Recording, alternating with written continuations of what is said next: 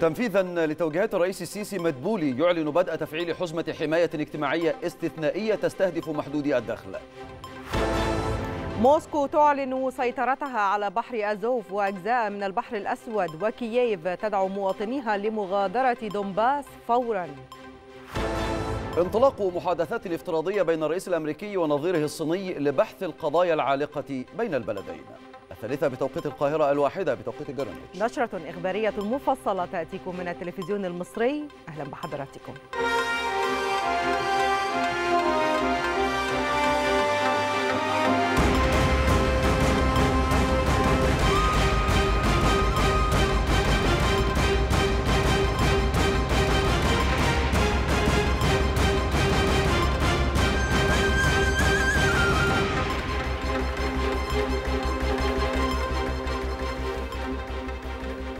ترأس رئيس مجلس الوزراء مصطفى مدبولي اجتماع الحكومة الأسبوعي اليوم والذي عقد بمدينة العالمين الجديدة. واستهل رئيس الوزراء الاجتماع بتوجيه التهنئة إلى الرئيس عبد الفتاح السيسي والشعب المصري بمناسبة رأس السنة الهجرية. داعيا أن يعيد الله هذه المناسبة على مصر والأمتين العربية والإسلامية بالخير والأمن والرخاء. ثم استعرض مدبولي خلال الاجتماع الجولة الخارجية الناجحة للرئيس عبد الفتاح السيسي في كل من ألمانيا وصربيا وفرنسا والتي عكست التقدير العالمي للدور المصري وثقلها في الدوائر الإقليمية والعالمية. فضلا عن دعم مواقفها في مختلف القضايا كما مثلت هذه الزيارات فرصة لدعوة الرئيس لزعماء هذه الدول لحضور مؤتمر المناخ كوب 27 بشرم الشيخ نوفمبر المقبل. كما أشار مدبولي إلى زيارة الرئيس الصومالي حسن شيخ محمود إلى القاهرة موجها الوزراء بالتنسيق مع وزارة الخارجية بهدف دعم أطر التعاون بين البلدين. وخلال الاجتماع أشار رئيس الوزراء إلى جهود الدولة المستمرة في التعامل مع تداعيات الأزمة الاقتصادية العالمية الحالية وتوجيهات الرئيس السيسي في هذا الشأن والتي تتضمن التوسع في إجراءات الحماية الاجتماعية. من خلال بدء تفعيل حزمة حماية اجتماعية استثنائية تستهدف المواطنين من فئة محدودي الدخل وذلك في إطار الجهود المبذولة للتخفيف من حدة مثل هذه الأزمات عن كاهل هذه الفئة ورفع الأعباء عنهم بما يضمن لهم حياة كريمة. وافق مجلس الوزراء خلال اجتماعه برئاسة مصطفى مدبولي في مقر الحكومة بمدينة العالمين الجديدة على عدة قرارات من أبرزها. الموافقة على مشروع قانون بتعديل بعض أحكام قانون تنظيم الاتصالات الصادر بالقانون رقم 10 لسنة 2003 وذلك بهدف تغليظ العقوبات المقررة على حيازة أجهزة تقوية المحمول غير الشرعية.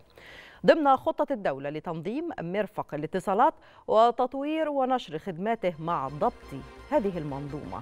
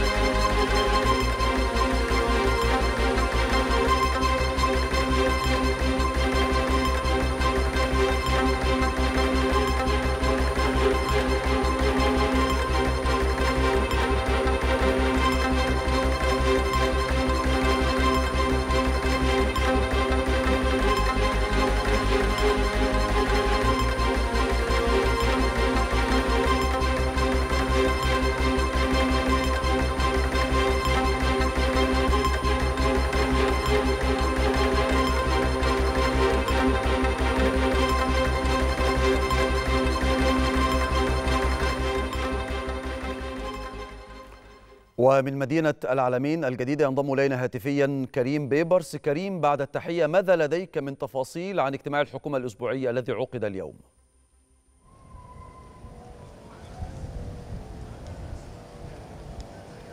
كريم هل تسمعني؟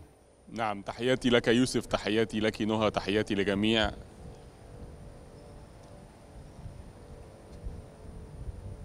نعم أسمعكم بوضوح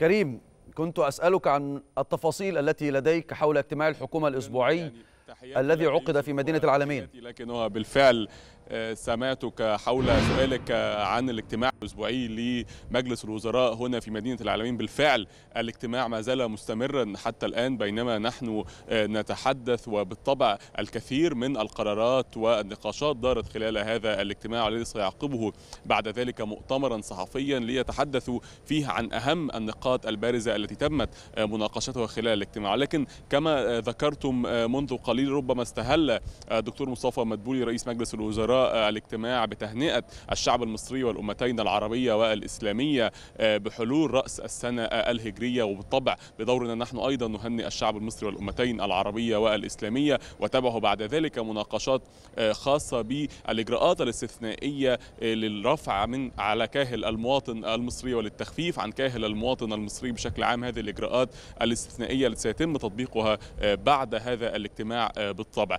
أيضا تم مناقشة ما دار خلال الأسبوع الماضي خلال هذا الاجتماع. ربما من أهم الأحداث خلال هذا الأسبوع هو زيارة وزير الخارجية الروسي سيرجي لافروف هنا إلى القاهرة والذي تحدث بالطبع عن العلاقات الاستثنائية والثنائية القوية الروسية المصرية. ومن أهم الملفات التي تحدثوا عنها بالطبع هي المنطقة الاقتصادية في هيئة قناة السويس بقناة السويس وشرق بورسعيد والاستثمارات الروسية. هناك وأهمية التعاون الاقتصادي المشترك بين مصر وروسيا. وأيضا أكد على القمة الروسية الأفريقية التي سيتم انعقادها هنا في على إحدى الدول على أرض إحدى الدول الأفريقية خلال هذا العام. وهذه القمة بالطبع ستكون من أوائل حضور هذه القمة هي جمهورية مصر العربية. كان هناك أيضا حديث حول في هذا الاجتماع حول القرارات الخاصة باستصلاح الأراضي الزراعية وتخصيص الأراضي الزراعية في محافظة المنوفية. وأيضا بعض الأراضي الأخرى يتم يعني تخصيصها لبعض المشاريع التي ستنتهي على مدار سنتين من الآن أيضا في محافظة المنوفية لبناء بعض المدارس والمستشفيات. وهو أيضا جزء من مبادرة حياة كريمة التي أطلقها الرئيس عبد الفتاح السيسي. هناك أيضا جزء خلال هذا النقاش الاسبوعي كان حول كما ذكرتم التخفيف على كاهل المواطن المصري خصوصا في ظل ارتفاع الأسعار وأيضا بسبب الأزمة الروسية الأوكرانية التي أثرت على تجارة الحبوب بشكل عام في العالم. أجمع وهذه أيضا كانت نقطة هامة كانت خلال النقاشات المصرية الروسية وأكدت فيه روسيا على التعاون المصري الوثيق للتخفيف من هذه الأزمة على الجانب المصري. هناك أيضا جزء خاص بالعلاقات المصرية العربية والتعاون الاقتصادي العربي وهي أيضا فكرة التكامل الاقتصادي بين مصر والإمارات العربية المتحدة وأيضا البحرين والمملكة الأردنية الهاشمية لبناء هذا التعاون المتكامل. وكان هذا اللقاء خلال أيضا الأسبوع الماضي بين ثلاثة دول مصر والإمارات العربية والمملكة الأردنية الهاشمية وانضمت إليها بعد ذلك البحرين لوضع اسس التكامل الاقتصادي للتعاون سواء في المجالات المختلفة من الغاز والبترول وأيضا الاستثمارات المختلفة بين الجوانب العربية. وأيضا خلال الاجتماع ناقش رئيس مجلس الوزراء مع الوزراء المختلفين الجزء الخاص بتطوير التعليم وأيضا تطوير التعليم العالي في حد ذاته وأيضا التعامل مع الجامعات الجديدة سواء تم إنشاؤها في العاصمة الإدارية الجديدة أو حتى هنا في مدينة العالمين العالمين عفوا. وأيضا تطوير هذه الجامعات وتجهيزها لاستقبال بعد ذلك الطلاب على الأسس التكنولوجية الحديثة المتطورة لتطوير الطلاب المصريين وتجهيزهم للمستقبل الرقمي. وهو أيضا جزء من خطة جمهورية مصر العربية للتحول الرقمي بشكل عام. وكان هناك أيضا حديث عن الوضع الصحي في مصر. مصر الخاص بتداعيات فيروس كورونا بشكل عام وكان هناك الأسبوع قبل الماضي توجيهات من رئاسة مجلس الوزراء بالتزام المواطنين في ارتداء الكمامات في المواصلات العامة والشوارع ربما الضيقة أو الأماكن المغلقة. أيضا في محاولة للحد من انتشار فيروس كورونا في موجاته السادسة. كانت هذه أهم الملفات التي تمت مناقشتها يعني خلال الدقائق أو الساعات عفوا الماضية وما زال الاجتماع مستمر وسننتظر هذا المؤتمر الصحفي ليكون هناك استعراض لأبرز النقاط الأخرى. ونحن أيضا في انتظار هذا المؤتمر الصحفي. الزميل كريم بيبرس من مدينة العالمين الجديدة كنت معنا. شكرا جزيلا لك. أكد رئيس مجلس الوزراء مصطفى مدبولي حرصه على متابعة تفاصيل الاستعدادات اللوجستية والموضوعية الخاصة باستضافة مصر المرتقبة لمؤتمر المناخ كوب 27 جاء ذلك خلال اجتماع عقده مدبولي لاستعراض بعض الإجراءات الخاصة بالاستعدادات الجارية لاستضافة المؤتمر. وشهد الاجتماع استعراضا للفكر التصميمي للمنطقة الخضراء حيث تم تحديد مساحات العرض التي سيتم إنشاؤها على أن تكون هناك الكثير من المناطق الخاصة بالعرض. منها عرض قصص نجاح مشروعات الدولة المصرية وكذلك عرض للابتكار والعلوم وأخرى للرعاة بالإضافة إلى معرض للمجتمع المحلي لتعزيز المشاركة المجتمعية بمختلف الفعاليات وغيرها. أعلن وزير الخارجية سامح شكري الرئيس المعين للدورة السابعة والعشرين لمؤتمر أطراف اتفاقية الأمم المتحدة الإطارية لتغير المناخ. أعلن اختيار الدكتورة أمنية العمراني كمبعوث لرئيس مؤتمر كوب 27 للشباب.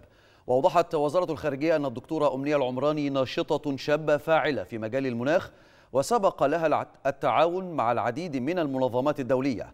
على رأسها سكرتارية اتفاقية الأمم المتحدة الإطارية لتغير المناخ ومنظمة الصحة العالمية وصندوق الأمم المتحدة للطفولة. وستعمل الدكتورة أمنية العمراني على تعزيز انخراط الشباب من مصر ومختلف أنحاء العالم في عمل المناخ الدولي. فضلا عن ضمان الاستماع لأصواتهم في إطار التحضير لمؤتمر كوب 27 وخلال المرحلة التالية له. تقدم فضيلة الإمام الأكبر أحمد الطيب شيخ الأزهر الشريف بخالص التهنئة. إلى الرئيس عبد الفتاح السيسي وإلى جموع المسلمين حول العالم بمناسبة العام الهجري الجديد. وأكد شيخ الأزهر أن الهجرة النبوية الشريفة كانت بأمر إلهي وجاءت بحدث فارق غير مجرى التاريخ الإنساني. وقامت عليه دولة الإسلام بعد أن فرقت الهجرة النبوية بين الحق والباطل وأرست مبادئ التوكل على الله مع وجوب الأخذ بالأسباب. ودعا شيخ الأزهر جموع المسلمين إلى التدبر العميق في دروس الهجرة النبوية وفي مراحلها الزاخرة بالأحداث والمواقف والعبر. والتأسي برسولنا الكريم محمد في أقواله وأفعاله وأحواله وفي نصرة الدين الحنيف بالعبادة وحسن العمل والإتقان وحب الأوطان. بعث الفريق أول محمد زكي القائد العام للقوات المسلحة وزير الدفاع والإنتاج الحربي ببرقية تهنئة إلى الرئيس عبد الفتاح السيسي بمناسبة حلول رأس السنة الهجرية الجديدة. وقال وزير الدفاع والإنتاج الحربي في برقيته إن رجال القوات المسلحة يؤكدون اقتداءهم بهدي رسول الإنسانية الذي أرسى نموذجا فريدا لبناء الأمم والأوطان ونبراسا لطريقها نحو الرقي والتطور. ماضين تحت قيادة الرئيس السيسي الحكيمة بنبل القصد وصدق الغاية لتنفيذ المهام المقدسة المكلفين بها لحماية الوطن وصون تاريخه وأمجاده ومقدرات شعبه العظيم. كما بعث الفريق أسامة عسكر رئيس أركان حرب القوات المسلحة ببرقية تهنئة مماثلة للرئيس السيسي بهذه المناسبة. وبعث الفريق أول محمد زكي القائد العام للقوات المسلحة وزير الدفاع والإنتاج الحربي ببرقيات تهنئة لكل من فضيلة الإمام الأكبر شيخ الأزهر وفضيلة مفتي الجمهورية. كما بعث الفريق أسامة عسكر رئيس أركان حرب القوات المسلحة برقيات تهنئة لفضيلة الإمام الأكبر شيخ الأزهر وفضيلة مفتي الجمهورية. هذا وأقامت القوات المسلحة احتفالية بمناسبة حلول العام الهجري الجديد بحضور عدد من قادة وضباط وضباط صف وجنود القوات المسلحة. أكد اللواء أركان حرب وليد حمود عوض مساعد رئيس أركان حرب القوات المسلحة أن رجال القوات المسلحة يضربون المثل في الصدق والإخلاص والتفاني مقتدين بصاحب الهجرة النبوية الشريفة فيما يحملونه من مهام ومسؤوليات والنضال من أجل المبادئ السامية والقيم النبيلة التي تحفظ أمن الوطن واستقراره وقدسية وسلامة أراضيه.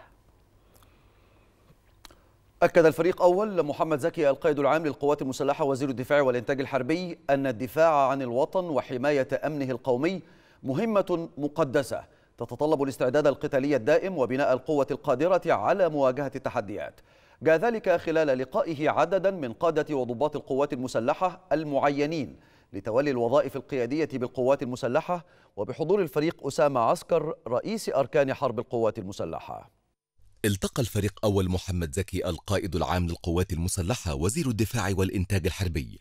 بعدد من قادة وضباط القوات المسلحة المعينين لتولي الوظائف القيادية بالقوات المسلحة وذلك بحضور الفريق أسامة عسكر رئيس أركان حرب القوات المسلحة وقادة الأفرع الرئيسية وعدد من كبار قادة القوات المسلحة. والذي يأتي في إطار سلسلة اللقاءات الدورية التي تقوم بها القيادة العامة للقوات المسلحة للتواصل مع أبنائها المقاتلين لتوحيد المفاهيم حول عدد من القضايا والموضوعات. التي ترتبط بالقوات المسلحة. بدأ اللقاء بعرض تقديمي لعدد من قادة القوات المسلحة. تناولوا أهم التحديات التي تشهدها المرحلة والأسلوب الأمثل لمجابهتها بما يسهم في تنفيذ أداء القوات المسلحة لأدوارها ومهامها على أكمل وجه.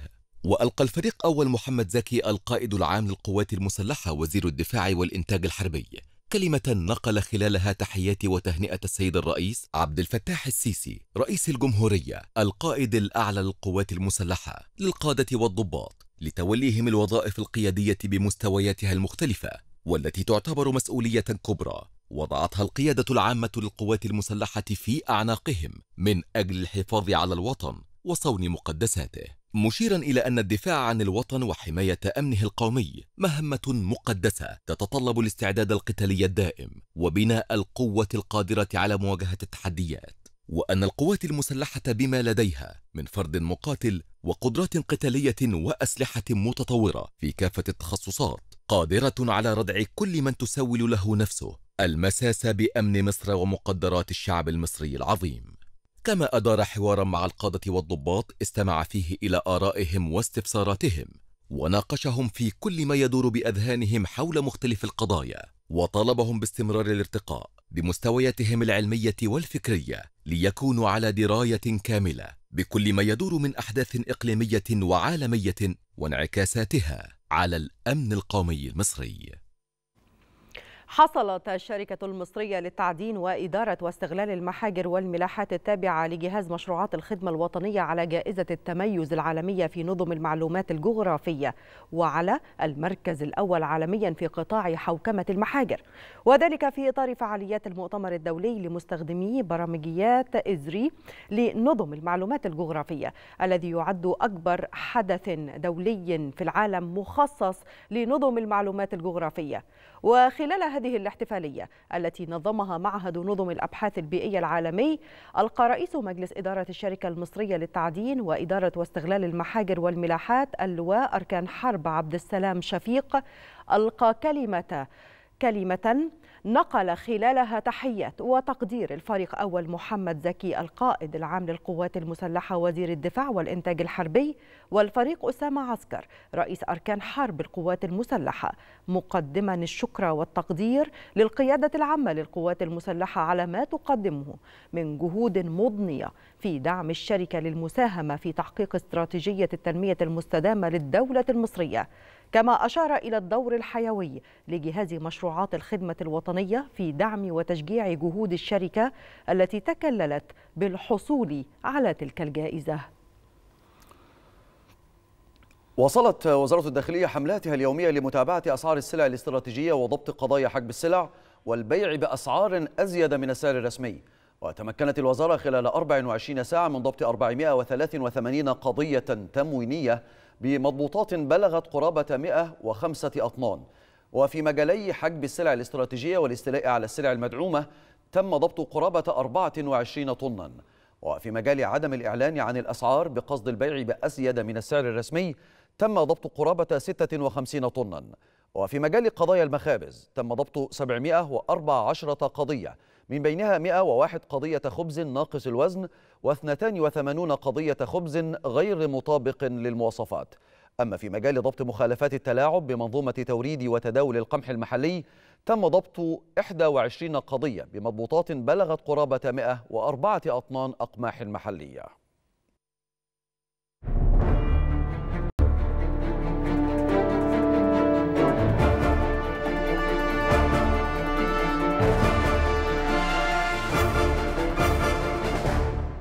وإلى تطورات الأزمة الأوكرانية حيث أعلن قائد أسطول البحر الأسود الروسي إيغور أوسيبوف سيطرة بلاده على بحر أزوف والجزء الشمالي الغربي من البحر الأسود. وأوضح أوسيبوف أن سفن وطائرات أسطول البحر الأسود تقوم بتوجيه ضربات على أهداف معادية بالغة الدقة والأهمية، كما تشارك الوحدات القتالية التابعة لهذا الأسطول في العمليات الهجومية البرية للجيش الروسي. دعت الحكومة الأوكرانية المدنيين لمغادرة إقليم دونباس فورا بعد تحقيق الجيش الروسي تقدما في بعض الجبهات. يأتي ذلك فيما دعت حكومة منطقة دونسك روسيا إلى توسيع الهجوم ليشمل مدنا تغطي جميع أنحاء أوكرانيا تقريبا. في حين تركز العمليات العسكرية الجارية على إقليم دونباس ومناطق أخرى في الجنوب.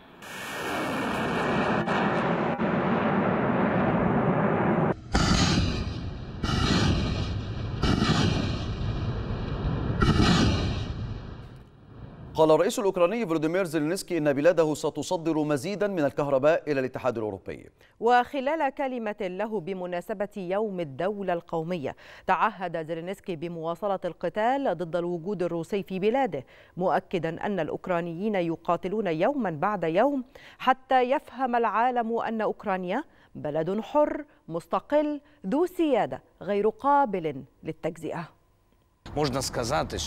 يمكنكم أن تقولوا ذلك لنا كل يوم هو يوم دولة قومية الأوكرانيون يقاتلون كل يوم حتى يدرك العالم أجمع أن بلدهم ليست مقاطعة روسية ولكنها دولة حرة مستقلة ذات سيادة وغير قابلة للتجزئة قدم الرئيس الأوكراني فلوديمير زيلينسكي المدعي العام الجديد لأوكرانيا وذلك خلال اجتماع حكومي. وحل أندري كوستين محل إيرينا فينديكتوفا التي أوقفها الرئيس في السابع عشر من يوليو الجاري. وفي أول قرار له بعد تقلده المنصب أصدر, أصدر كوستين قرارا بتعيين ألكسندر كيليمينكو في منصب نائب المدعي العام ورئيس مكتب المدعي العام المختص بمكافحة الفساد. وشدد كوستين على ضرورة حصول أوكرانيا على العضوية الكاملة في المجتمع الأوروبي والاتحاد الأوروبي. بدوره دعا المستشار النمساوي كارل نهيمر إلى الضغط الدولي بقوة على روسيا لوقف القتال في أوكرانيا لافتا إلى أهمية التضامن الأوروبي في هذه الأزمة الراهنة غير المسبوقة منذ الحرب العالمية الثانية على حد قوله. وخلال مؤتمر صحفي عقده مع رئيس الوزراء المجري فيكتور أوربان قال المستشار النمساوي إن العقوبات لا تدخل حيز التنفيذ بالسرعة المأمولة لافتا إلى سعي أوروبا لمنع الاضطرابات الاجتماعية وزعزعة الاستقرار بسبب ارتفاع معدل البطالة في السوق الأوروبية.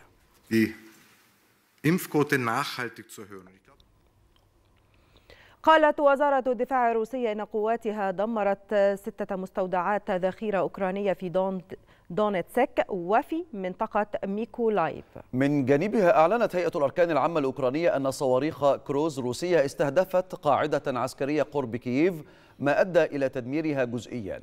وقال المسؤول العسكري أولكسي كوروموف إن مبنى في القاعدة دمر. وأصيب اثنان آخران بينما أسقطت الدفاعات الجوية الأوكرانية أحد الصواريخ. رغم دخول الأزمة الأوكرانية الروسية شهر السادس إلا أن المؤشرات لا تلوح بوجود حل سياسي من كلا الطرفين أو حتى من حلف شمال الأطلسي الذي يدعم كييف. فالأزمة الأوكرانية الروسية التي تسببت في تباطؤ النمو وزيادة سرعة التضخم في جميع دول العالم وأوقفت تصدير القمح الأوكراني والروسي وجعلت موسكو توقف تصدير الغاز لأوروبا جعلت الجميع يتبع سياسة الأمر الواقع والبحث عن حلول بديلة. فبداية من كييف. فقد أعلن الرئيس الأوكراني زيلينسكي أن بلاده ستصدر مزيدا من الكهرباء إلى الاتحاد الأوروبي مؤكدا أن تلك الصادرات لن تسمح بزيادة العملات الأجنبية فقط بل ستساعد أيضا الشركاء الأوروبيين على مقاومة الضغط الذي تمارسه روسيا على صعيد الطاقة. أما وزير الخارجية الأمريكي أنتوني بلينكين فقد ألقى بالمسؤولية عما يمر به العالم من أزمات على الرئيس الروسي فلاديمير بوتين وأكد أن الأزمة التي دخل الشهر السادس تسببت في أزمات غذاء عالمية وأكد بلينكين أن أوكرانيا لم ولن يتم احتلالها وستبقى دولة ذات سيادة ومستقلة. ميدانيا قالت وزارة الدفاع البريطانية إن الهجوم المضاد الذي تشنه أوكرانيا يكتسب قوة في مدينة خيرسون الواقعة جنوب البلاد. البلاد وتسيطر عليها روسيا. وفي إقليم دونيتسك قال موالون لروسيا إن أربعة مدنيين قتلوا في قصف أوكراني وأصيب أحد عشر آخرون بجروح. عواقب العملية العسكرية التي شنتها روسيا على أوكرانيا لم تقتصر على مجرد اهتزاز الأوضاع بالفعل في هذين البلدين وحسب لكنها طالت المنطقة والعالم بأسره كما أنها تشير إلى أهمية وجود شبكة أمان عالمية ووضع ترتيبات إقليمية لوقاية الاقتصادات من الصدمات. أكدت وزارة الخارجية الروسية أن بلادها والولايات المتحدة لم تتوصلا بعد إلى أي نتيجة ملموسة بشأن تبادل محتمل لمواطني البلدين المحتجزين أو المعتقلين. وقالت المتحدثة باسم وزارة الخارجية الروسية ماريا زاغاروفا قالت إن الرئيسين الروسي والأمريكي ناقشا احتمال تبادل المواطنين الروس والأمريكيين المحتجزين في أراضي البلدين وأعطوا تعليمات للمؤسسات المختصة لإجراء مفاوضات مؤكدة على ضرورة أن تؤخذ مصالح الطرفين في الاعتبار أثناء عملية التفاوض.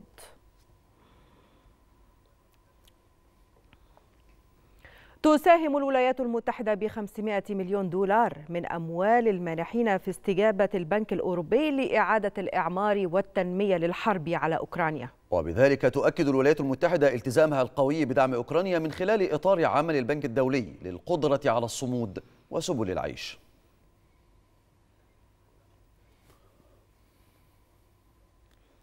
رحبت الأمم المتحدة بافتتاح مركز التنسيق المشترك لتسهيل تنفيذ مبادرة حبوب البحر الأسود لإنشاء ممر بحري إنساني يسمح للسفن بتصدير الحبوب والمواد الغذائية. وأكدت الأمم المتحدة أن المركز سيقوم برصد حركة السفن التجارية لضمان الامتثال للمبادرة والتركيز على تصدير الحبوب التجارية السائبة والسلع الغذائية ذات الصلة فقط فضلا عن ضمان المراقبة في المواقع ورصد البضائع من الموانئ الأوكرانية والإبلاغ عن الشحنات التي تم تسهيلها من خلال المبادرة.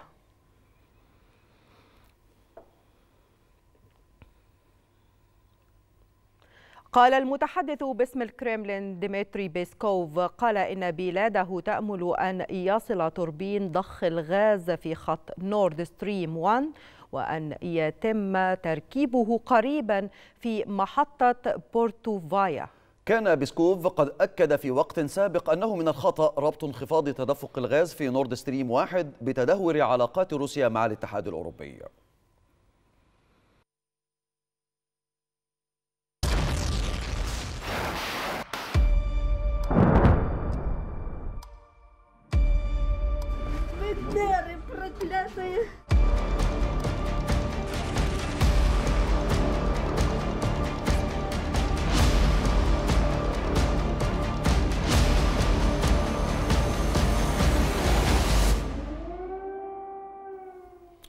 تراجعت ثقة المستهلكين الألمان لشهر أغسطس إلى أدنى مستوى لها وسط المخاوف المستمرة من ارتفاع أسعار الطاقة والغذاء ونقص إمدادات الغاز. وكشف استطلاع للرأي أجراه معهد GfK للأبحاث أن التوقعات الاقتصادية الخاصة بالدخل ونية الشراء آخذة في التراجع. من جانبه أكد وزير الاقتصاد الألماني روبرت هابك أن الدولة لا تستطيع تحمل عبء ارتفاع أسعار الطاقة. هذا ولا يزال التضخم في ألمانيا عند مستوى عال رغم تباطؤ وتيرته خلال شهر يوليو الجاري وذلك على خلفية استمرار ارتفاع أسعار الطاقة بسبب الأزمة الأوكرانية.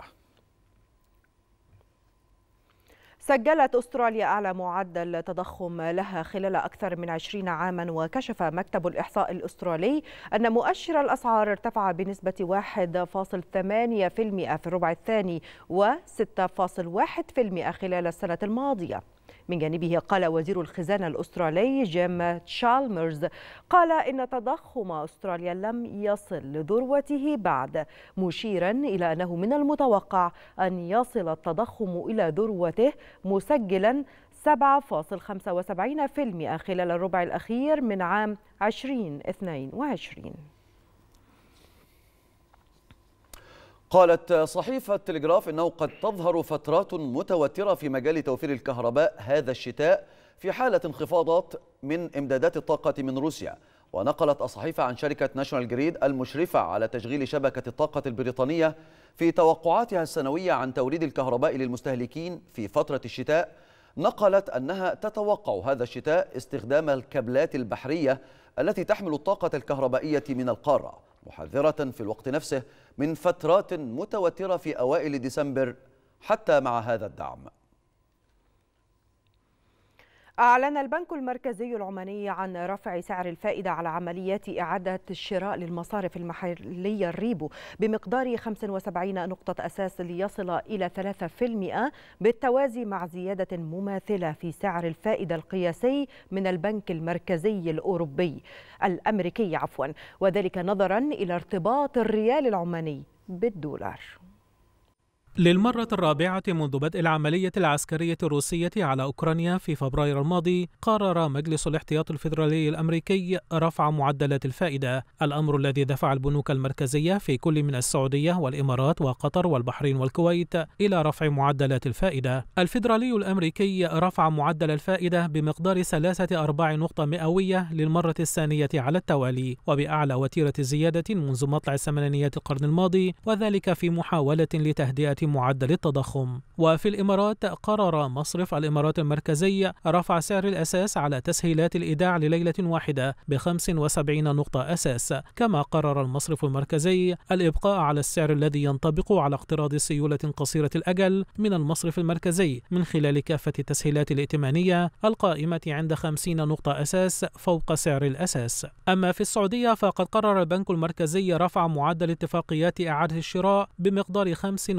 نقطة أساس من 2.25 من 100% إلى 3%. أما البنك المركزي الكويتي فقد أعلن أيضا رفع سعر الخصم بواقع ربع نقطة مئوية من 2.25 من 100% إلى 2.5% كما تقرر أيضا إجراء تعديل بنسب متفاوتة في أسعار التدخل في السوق النقدي المطبقة حاليا على جميع آجال هيكل سعر الفائدة كما قرر مصرف البحرين المركزي رفع سعر الفائدة الأساسي على ودائع الأسبوع الواحد من 2.5% إلى 3.25 من 100% كما أقر مصرف قطر المركزي رفع سعر فائدة المصرف للإيداع بمقدار 75 نقطة أساس ليصبح 3% ورفع سعر فائدة الإقراض من المصرف بمقدار 50 نقطة أساس ليصبح 3.75 من 100 بالمئة.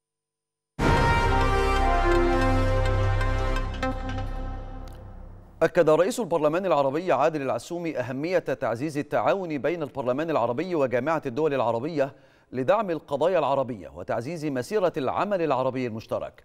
وخلال لقائه الأمين العام لجامعة الدول العربية أحمد أبو الغيط شدد العسومي على حرص البرلمان العربي في إطار استراتيجية عمله الجديدة على إعلاء دور الدبلوماسية البرلمانية العربية كآلية محورية لجميع مبادراته. مشيرا إلى أن التكامل بين الدبلوماسية البرلمانية التي يقودها البرلمان العربي وبين الدبلوماسية الرسمية التي تقودها جامعة الدول العربية يمثل قيمة مضافة لتعزيز منظومة العمل العربي المشترك.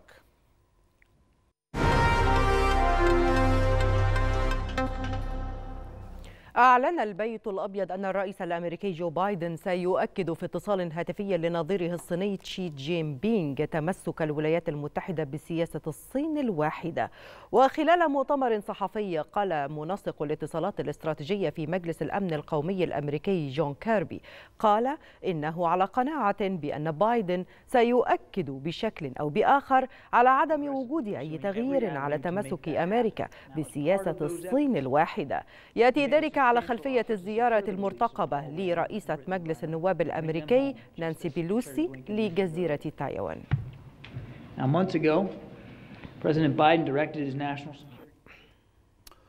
أكد زعيم كوريا الشمالية كيم جونج أون أن بلاده مستعدة لنشر قوات الردع النووي تحسبا لأي صدام عسكري مع الولايات المتحدة وخلال كلمته بمناسبة الذكرى التاسعة والستين للهدنة في الحرب الكورية قال كيم إن المواجهة مع الولايات المتحدة تفرض تهديدات نووية مضيفا أن القوات المسلحة الكورية مستعدة على نحو تام للتعامل مع أي أزمة وأن قوات الردع النووي مستعدة تماما للانتشار للقيام بكافة المهام الموكلة إليها بدقة وإخلاص.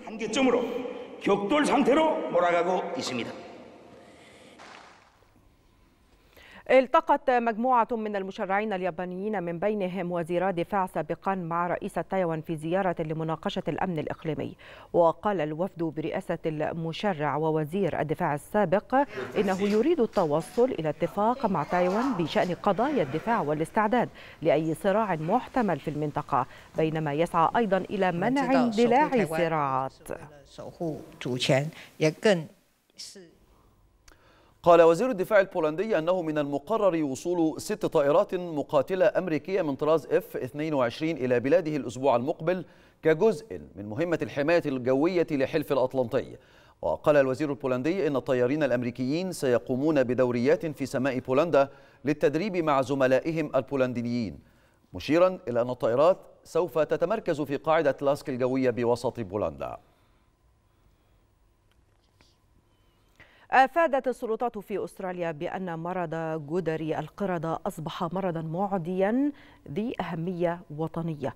وقال كبير الأطباء بول كيلي إنه تم تفعيل المركز الوطني للحوادث لتعزيز التنسيق عبر الولايات والأقاليم الأسترالية لإدارة تفشي المرض. وأضاف أن أستراليا تم رصد ما يقرب من 44 حالة إصابة بجدر القردة معظمها لمسافرين عائدين إلى البلاد. قال مسؤول, قال مسؤول كبير في إدارة الطيران والفضاء الأمريكية ناسا إن مسؤولي الفضاء الروس أبلغوا نظراءهم الأمريكيين أن موسكو ترغب في مواصلة نقل روادها إلى متن محطة الفضاء الدولية حتى يتم بناء موقعهم المداري وتشغيله. وتشير أحدث المؤشرات إلى أن روسيا لا يزال أمامها ست سنوات على الأقل لإنهاء تعاون مداري مع الولايات المتحدة يعود إلى أكثر من عقدين.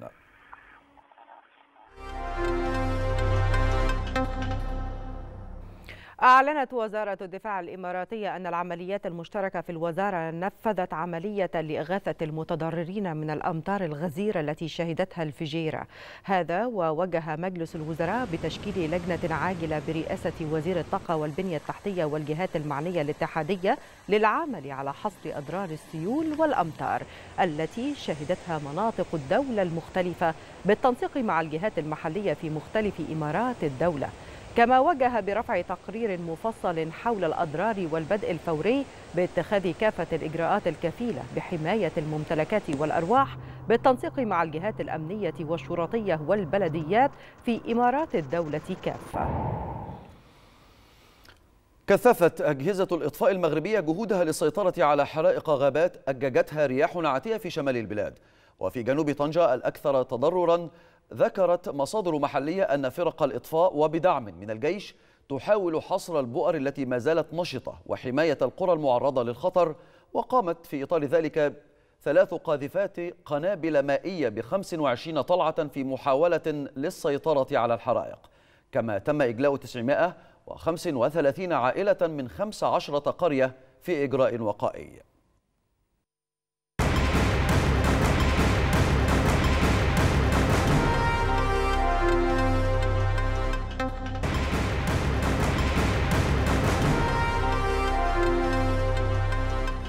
أهلا بكم من جديد. ضربت مئات الهزات الارتدادية شمال الفلبين على إثر زلزال قوي ما دفع السكان المنكوبين إلى النوم خارج منازلهم. كان زلزال شدته سبع درجات على مقياس ريختر ضرب مقاطعة أبرا في شمال الفلبين ما أسفر عن مقتل خمسة أشخاص على الأقل وجرح أكثر من 150 آخرين. ودمر الزلزال عدة منازل وتسبب في انهيارات أرضية.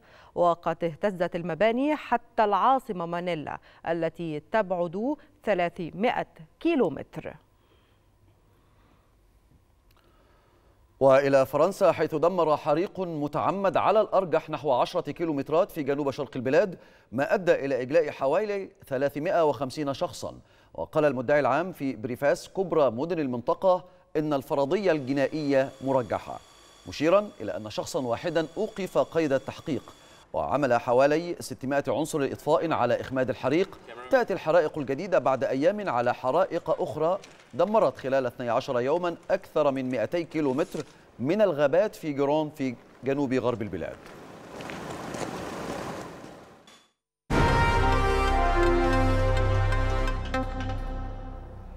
أعلن وكيل الأزهر الشريف محمد الضويني نتيجة الثانوية الأزهرية لهذا العام بنسبة نجاح عامة 57.31%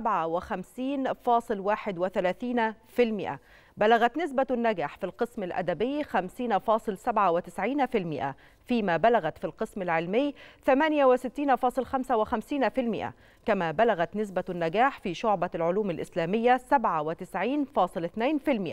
وهنأ وكيل الأزهر الطلاب والطالبات الناجحين جميعا معربا عن تحياته وتقديره لهؤلاء الطلاب الذين اجتهدوا وحصلوا العلوم الأزهرية بتنوعها وشمولها ومنهجها الواسع الذي يميز الطالب الأزهري ويجعله مهيئا لدخول المرحلة الجامعية.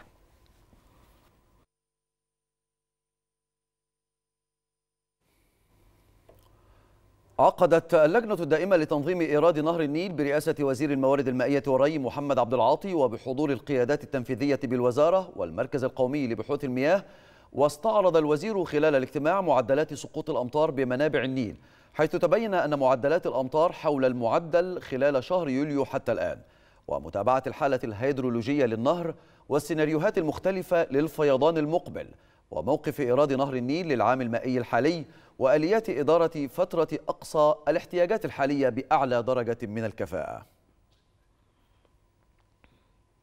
يستعد مصنع سيماف التابع للهيئة العربية للتصنيع لتسليم 25 عربة من عربات نقل الغلال إلى هيئة السكة الحديد يعقبها خلال الأربعة أشهر القادمة تصنيع وإنتاج 50 عربة سكك حديدية لاستكمال أسطول نقل الغلال.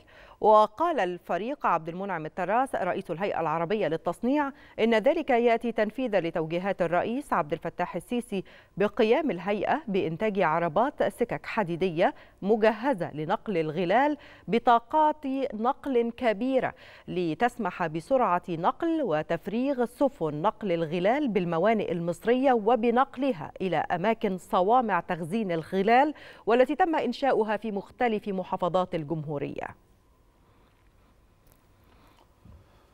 تحتفل منظمة الصحة العالمية باليوم العالمي لالتهاب الكبد كل عام في الثامن والعشرين من يوليو للتوعية بالتهاب الكبد الفيروسي الذي يسبب التهاب الكبد المؤدي إلى أمراض خطيرة وسرطان الكبد. وأولت الدولة المصرية اهتماما بالغا لمواجهة التهاب الكبد كبد الفيروسي فيروسي برعاية الرئيس عبد الفتاح السيسي.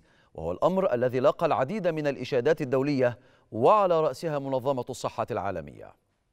بهدف الزيادة ورفع التوعية بالتهاب الكبد الوبائي تم تخصيص يوم عالمي لهذا المرض يوافق الثامن والعشرين من يوليو من كل عام من أجل تشجيع ودعم عمليات الوقاية والتشخيص والعلاج. منظمة الصحة العالمية تنظم العديد من الأنشطة تؤكد خلالها الضرورة الملحة لاتخاذ الجهود اللازمة للقضاء على التهاب الكبد الوبائي بحلول عام 2030 بوصفه تهديدا للصحة العامة. الدولة المصرية أولت اهتماما بالغا لمواجهة التهاب الكبد الوبائي فيروس سي برعاية الرئيس عبد الفتاح السيسي وهو الأمر الذي لاقى العديد من الإشادات الدولية وعلى رأسها منظمة الصحة العالمية. المبادرة الرئاسية 100 مليون صحة لعبت دورا هاما وبارزا في القضاء على فيروس C في مصر كما نجحت في الكشف وتقديم العلاج والقضاء على فيروس C لأكثر من مليوني مواطن وهو الأمر الذي نجح في تحويل مصر من دولة تضم أكبر عدد من مصابي فيروس C إلى الدولة صاحبة التجربة الرائدة. في مواجهة هذا الفيروس والقضاء عليه. كما حققت مصر تقدما كبيرا فيما يتعلق بإنتاج أدوية علاج فيروس C الأمر الذي نتج عنه انخفاض تكلفة العلاج.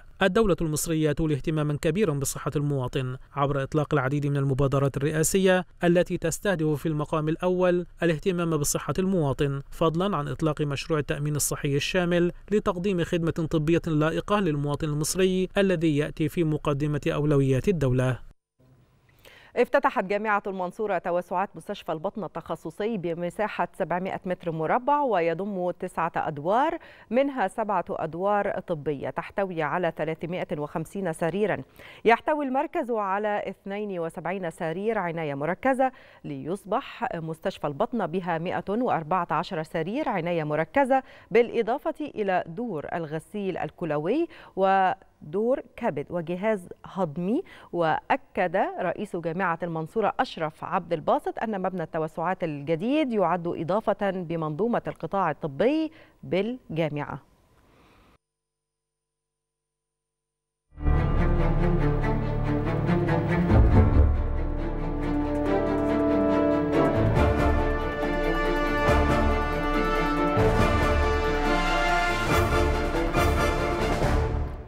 تلقت وزارة التخطيط والتنمية الاقتصادية تقريرا حول متابعة الموقف التنفيذي للمشروع القومي لتنمية الريف المصري حياة كريمة خلال العام المالي 2021-2022 وفقا لمنهجية لمنهجية البرامج والأداء وربط ما تم تنفيذه من أعمال في حياة كريمة بأهداف الأمم المتحدة لتحقيق التنمية المستدامة. أكدت الوزارة أن المبادرة الرئاسية حياة كريمة والتي تعد أحد أهم المشروعات القومية تهدف إلى تحسين مستوى المعيشة في الريف المصري من خلال الحد من معدلات الفقر والبطالة وتحسين جودة الحياة العامة للمواطنين وتستهدف المبادرة الوصول إلى جميع المناطق الريفية على مدار ثلاث سنوات بما يمثل 58% من سكان مصر. نظمت إدارة الشؤون الصحية في إدفو قافلة علاجية بقرية السماحة التابعة لوادي الصعايدة ومركز إدفو بأسوان ضمن المبادرة الرئاسية حياة كريمة. تم إجراء الكشف الطبي على أهالي القرية وصرف العلاج بالمجان وتحويل عدد من الحالات للمستشفيات التابعة لوزارة الصحة في إدفو وأسوان لعمل أشعة مقطعية ورنين مغناطيسي وحالات أخرى تحتاج لعمليات جراحية.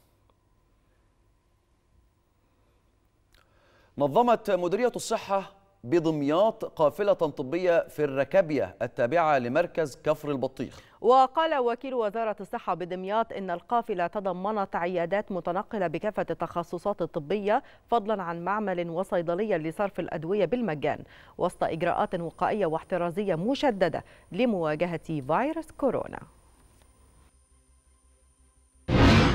قافلة النهاردة وضمن مبادرة حياة كريمة موجودة بقرية الركابية التابعة لمركز كفر البطيخ. القوافل العلاجية بتمثل الجزء الصحي من المبادرة الرئاسية حياة كريمة. القوافل العلاجية بتتميز بحاجتين مهمين جدا وهما إن هي بتقدم الخدمة المجانية تماما بداية من قطع التذكرة وحتى انتهاء الخدمة. الحاجة التانية إن هي بتوصل للمواطن لحد عنده وده تسهيلا على أهالينا من كبار السن وذوي الاحتياجات الخاصة اللي ممكن ما يقدروش يوصلوا اقرب مستشفى مركزي. خصوصا القوافل آه، من أهم معاييرها هي تكون بعيدة عن المستشفيات المركزية بمسافة لا تقل عن 15 كيلو متر بتقدم خدماتها الطبية والعلاجية بالمجان تماما في هذه القرية. هذه القرية من الأماكن الأشد احتياجا للخدمة الصحية نظرا لبعدها عن المستشفى. حوالي أكثر من 20 كيلو طبقا لتعليمات وزارة الصحة ولائحة القوافل ان إحنا نقدم خدماتنا الطبية في الأماكن البعيدة عن المستشفيات. معانا 12 عيادة تخصصية معانا صيدلية متكاملة فيها 150 صنف أدوية. بنقدم خدمة طبية مجانية العلاج بالمجان بنقابل المريض وبناخد منه التذكرة بعد الكشف. بنديله العلاج وبنشرح له طريقة استخدامه ولو في أدوية بتتعارض مع بعضها أو مع الغذاء والطعام ووقت العلاج بنقول له عليه. النهارده وبكرة إن شاء الله فيها عيادات متنقلة. في كافة التخصصات وصيدلية صرف الأدوية بالمجان. وفي برضو الخدمة لو في حالات مستحقة للتحويل للمستشفيات بتتحول لأقرب مستشفى لينا وهي مستشفى كفر البطيخ. يعني الكفيله دي كفيله بسم الله ما شاء الله. والدكاترة بتوعها ممتازين. وشفت عظام. والله يصلح حالك يا ريس وكتر من أمثالك. وربنا يصلح حالك ويجعلك بتعمل الخير على طول. شهدت قرية المنشأة الكبرى بمركز السلطة توقيع الكشف الطبي وصرف العلاج بالمجان ل 1247 مواطنا من أهالي القرية فضلا عن تحويل 51 حالة لاستكمال العلاج بمستشفيات الجامعة. أعلن رئيس جامعة طنطا محمود زكي حرص الجامعة على دعم المبادرة الرئاسية حياة كريمة من خلال تقديم الرعاية الصحية للمرضى على أعلى مستوى في القرى الأكثر احتياجاً وصرف العلاج بالمجان عن طريق إطلاق سلسلة من القوافل الطبية الشاملة لدعم المنظومة الصحية لمحافظة الغربية. اختتمت فعاليات القافلة الطبية بالوحدة الصحية بأم الحويطات التابعة لإدارة سفاجة الصحية وذلك ضمن المبادرة الرئاسية حياة كريمة. تم توقيع الكشف وصرف العلاج لعدد 252 حالة بمختلف التخصصات الطبية على مدار يومين وتم إجراء جميع الكشوفات والفحوصات وصرف العلاج بالمجان وذلك لضمان وصول الخدمة الطبية لجميع أهالي قرى ومدن محافظة البحر الأحمر.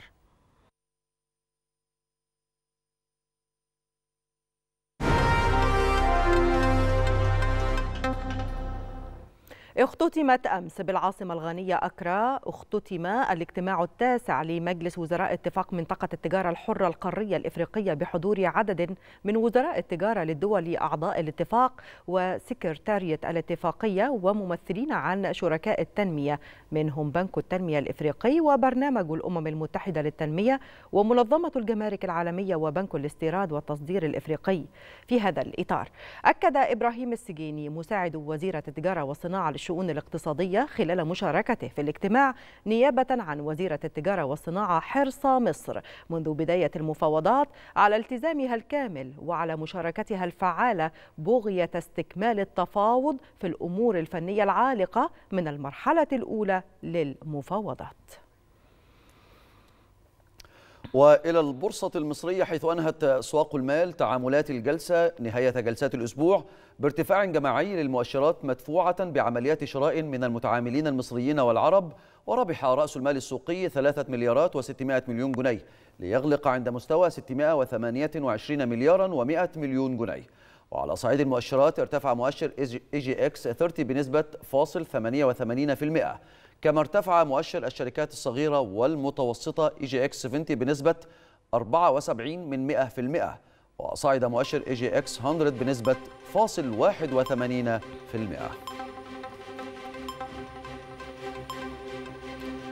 انتهت أخبارنا وبقي تذكير بالعناوين.